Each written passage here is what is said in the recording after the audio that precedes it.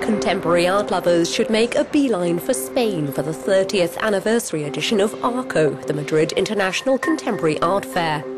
Nearly 200 galleries from more than 20 countries have lent pieces. This year, the event started a scheme called First Collector, which provides people interested in buying art with advice on what's best to invest in.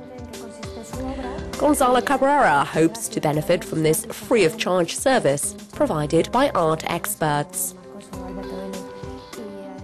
What worries me the most when I think of buying any artwork is to be sure that what I'm buying is really worth the price I'm paying.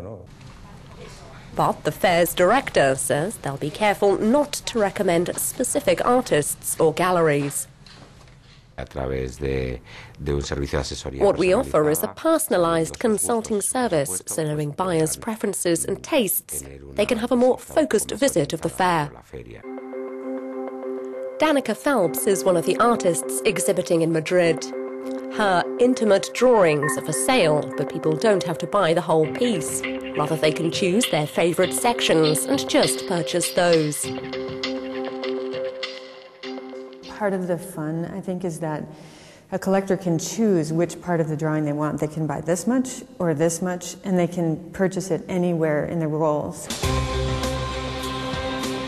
This year's guest country is Russia, represented by eight galleries from around the country, including the Garage Center for Contemporary Art, set up in Moscow in 2008 by oil tycoon and Chelsea Football Club owner Roman Abramovich.